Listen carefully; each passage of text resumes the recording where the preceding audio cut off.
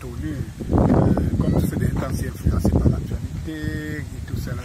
Et l'actualité d'aujourd'hui, euh, je ne pouvais ne pas me passer, comme on me demande toujours de me prononcer sur toutes les actualités, Samuel Eto, le cas Samuel Eto.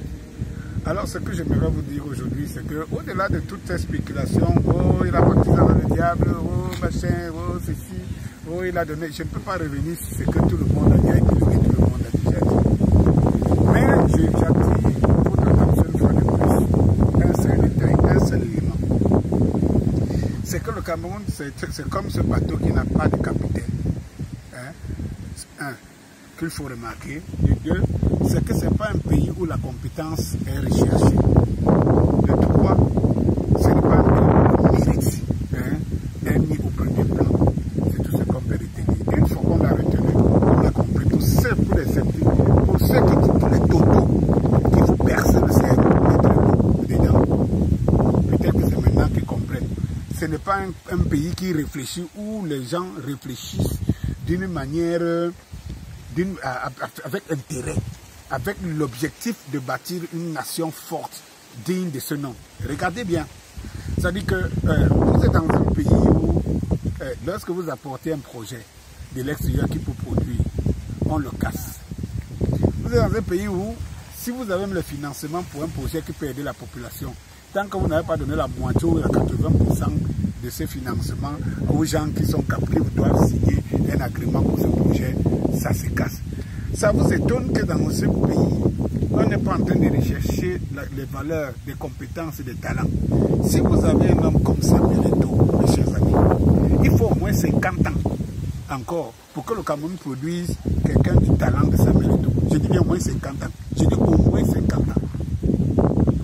Pour que Cameroun produise quelqu'un à la hauteur, à la trempe de Samuel Eto'o. Dites-moi un peu, vous de cette génération-ci, si on peut ramener, on peut estimer que ce n'est pas ce que Samuel Eto'o peut donner qui est important. C'est le fait qu'il peut avoir, encore que quand il faut prendre les honneurs nationaux, non, ça c'est important. Mais c'est le fait qu'on peut diriger une naissance supérieure, une naissance nationale, qui donne la fierté à tous les Camerounais. Est-ce qu'on a tenu comme ça, on éperdument de ce que les Camerounais peuvent penser Les gars, ils sont assis dans les intérêts et c'est que retenir. Je vous ai dit ici, nonobstant les positions et machin, écoutez, je vais vous dire une chose, pour ceux qui estiment qu'il aurait dû voir ça depuis machin, quand vous êtes un rienton comme moi, par exemple, un rienton comme moi, vous n'avez rien à perdre. Dès le départ, je ne suis pas quelqu'un dont un talent euh, exponentiel et qui, ma foi, hein, je ne sais pas moi, un, futur euh, euh, ma personne, ma compétence peut influencer, je me limite au peu que je peux avoir et tout. Donc, je peux dire non, comme je dis non à ce régime, non à toutes les propositions et tout, ça ne fait absolument rien. Quand vous êtes de la pointe de quelqu'un comme Samuel Eto'o, il faut savoir une chose, c'est que Samuel Eto'o en lui seul, c'est une entreprise. En Samuel Eto'o en lui seul, c'est une entreprise, c'est une multinationale. Et quand vous savez qu'au Cameroun, quelles que soient les positions, si vous êtes contre le régime, votre multinationale va tomber ils ont le pouvoir de le faire tomber. Ça met un temps multinational. Vous devez comprendre qu'il est obligé de négocier ou de partiser de temps en temps avec le diable. Il faut qu'on le comprenne. Ce n'est pas une histoire de... Pourquoi les gens veulent toujours réfléchir, ne, veulent pas réfléchir de toutes les façons Ils se laissent emporter par la passion, émotion. Non, il faut savoir... Il ne faut pas mélanger les choses. Le cas Samuel, c'est un cas, c'est des cas rares. Je vous dis encore, il faudrait au moins 50 ans au Cameroun pour avoir un Samuel et tout. Donc, c'est des cas, c'est des spécimens. Donc, si le gars a des ambitions, par exemple, un jour de diriger de, l'Africa Food, et il, a des plans ambitieux, et de peut-être un jour d'être entraîneur de machines, tout c'est normal. Qu'est-ce qu'il fera bien en se disant non, en se mettant sur le dos ce régime? Il est obligé de, de faire semblant. Moi, je vais vous rappeler quelque chose. Pour ceux qui ne savent pas, je vous dis, laissons le bruit, faisons parler l'intelligence il y a quelques années, lorsque je produis donc beaucoup d'entre vous aujourd'hui reconnaissent le, talent et tout. Lors de 50, de, quoi, de 40 ans de CHU euh, au palais de sport de Yaoundé, Vasseur va monter sur le podium chanter et Samir Eto était assis en face de l'autre côté de la tribune. Il a demandé à Vasseur de traverser. Devant tout le public du palais de sport, plein, devant tout le public du palais de sport, quand Vasseur va traverser pour aller à la rencontre de Vasseur, à la rencontre, quand on va se voir traverser pour aller à la rencontre d'Eto, autant pour moi, Eto va se lever, il va demander à son, à, son secrétaire, c'est pas son porteur de sac qui est à côté de lui, de lui donner l'argent qu'il a. Le gars va sortir un ballot d'argent comme ça, et Eto va prendre ce ballot d'argent, il va le mettre à, à Valsero. Et il va dire à Valsero, c'est toi le champion. Et va se lui dire que, mais, grand frère Eto, c'est toi le champion. Et Eto va lui répéter, c'est toi le champion. Vous ne pouvez pas supporter Valsero. Vous dites que Eto qui est le plus, plus, plus, plus, plus. Ce n'est pas possible. Cela veut dire qu'il vous manque quelque part une jugeote. Pour vous faire comprendre, ce que je vous dis là en détail, c'est pour vous faire comprendre que si Eto peut appeler Valsero à l'époque, c'était en 2010, je crois, de c'est toi le boss. C'est parce que Eto savait très bien que ce que Valsero décrit hein, est une raison? Et il l'a démontré à mon vision. Demandez à moi, qui suis là, contre ce régime, dit que Eto assez bête hein, pour partiser ou bien donner son mot d'ordre à l'endroit du régime, à faveur du régime, c'est que vous n'avez rien compris. Si vous n'avez pas vécu des expériences, vous ne pouvez pas comprendre de choses. Quand j'ai fini de le dire, il faut se dire une chose. Des à ce régime, à nous, qui a besoin de l'autre Nous n'avons pas besoin de quelqu'un comme Samuel Eto. C'est la question que nous devons répondre. Et c'est toute la question que veux répondre n'avons-nous pas besoin de Samuel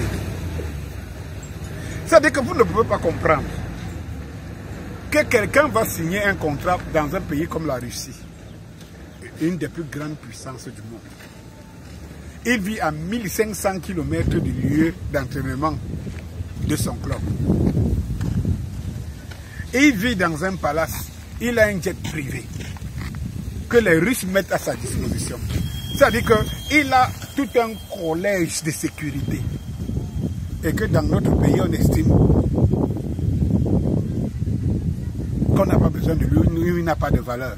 Cela veut dire que nous sommes un pays maudit. Nous sommes un pays maudit. Finalement, je ne sais pas qui sont nos références. Mais je crois au Camerounais que nous sommes.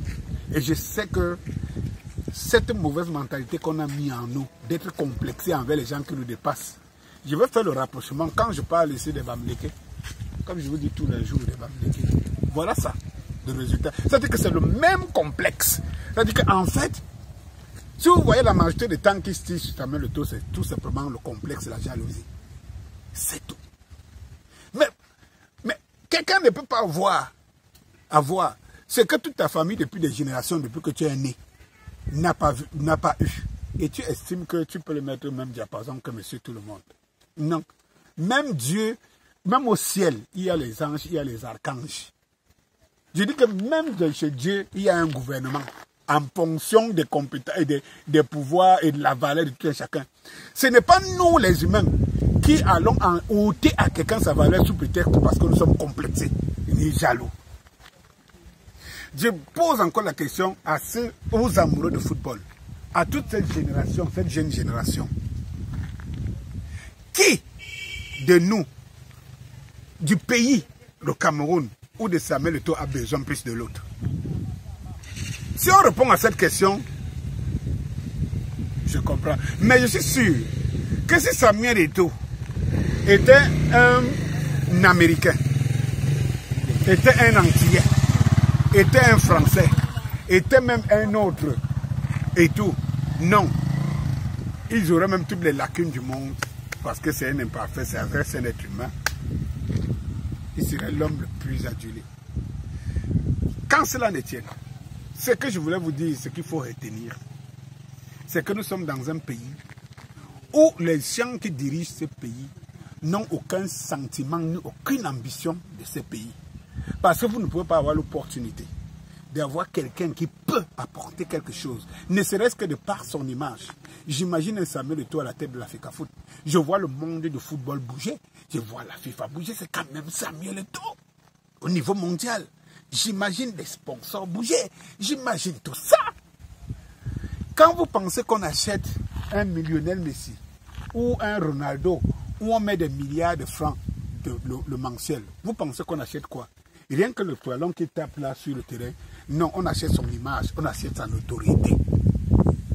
Les gars savent qu'en deux semaines, en un mois, les ventes de maillots, les ventes de ceci, les ventes de cela produisent un ensemble d'argent fou où ils rentrent dans leur sous.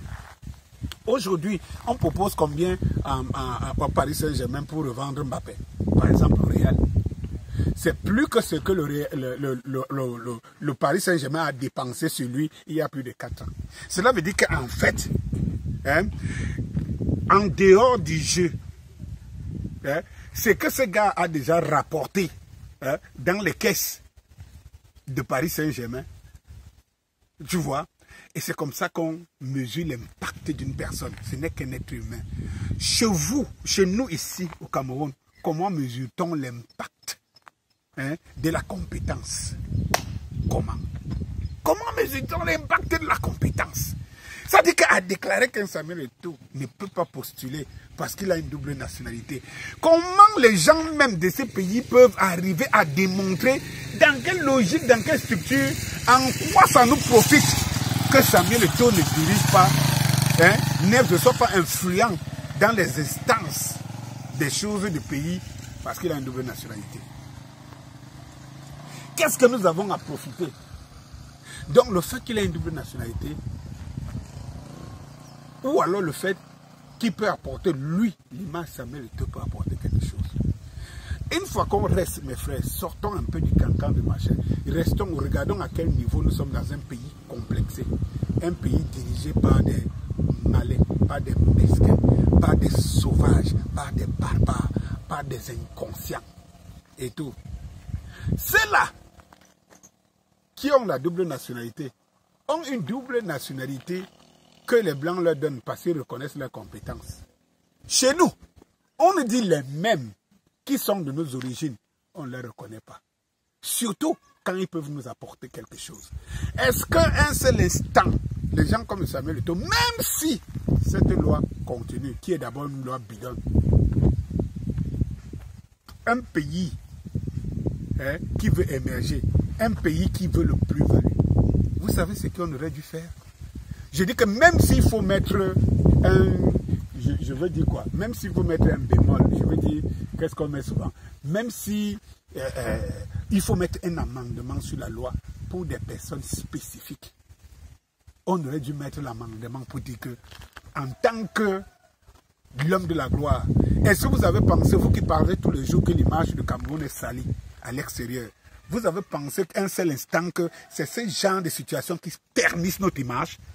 Qu'on entende que quelqu'un, on refuse qu'il dirige, qu'il apporte son plus-value dans un pays sous prétexte qu'il a une double nationalité. Mais les Blancs, ils s'en moquent. Ils nous prennent pour des idiots de premier degré. Et tout. Et qu'ils nous appellent des singes. Mais qui sont prêts à donner à un de nous hein, une nationalité parce qu'il est compétent. On leur dit que dans ce pays-là, où nous pas prendre les compétents pour venir nous servir. Hein? Là-bas, on refuse d'être compétents parce qu'ils ont une double nationalité. Vous avez donc compris? Je vous avais dit ici que tous les plus grands professeurs,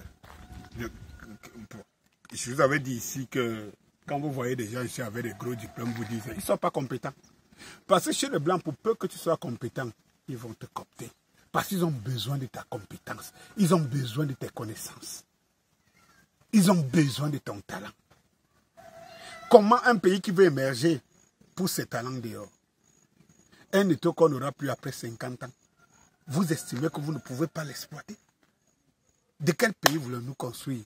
Celui qu'on va mettre là parce qu'il a donc une nationalité camerounaise. Il a quelle compétence avérée? Il a quelle image pour pouvoir vendre ne serait-ce que le football camerounais? Et quand je vous rappelle ici que 80 à 90% des dirigeants de ce pays ont la double nationalité. Vous vous rendez compte donc que nous sommes dans un pays de conneries, de fous et de cons. Bienvenue à la Nouvelle République que je réclame avec force. Je vous le dis depuis près de deux ans. Tout cela ne peut que s'arrêter en partant à une nouvelle république où on remet les lois zéro, où on remet le marché. Vous vous rendez compte qu'on dise que la double nationalité n'est pas acceptée chez nous, alors que nous avons besoin de compétences, nous ne sommes qu'un pays embryonnaire, un pays qui n'a pas de, souveraineté. C'est comme ce, pays où on crie seulement sur les toits et tout. Les qui peuvent nous apporter le plus-value, c'est notre diaspora. Mais comme vous dites qu'on ne veut pas, on ne veut pas la diaspora et tout. Mais pendant ce temps, vous avez un blanc comme ambassadeur, que c'est lui qui vient nous donner les nouvelles de Paul Biya, les nouvelles de notre président.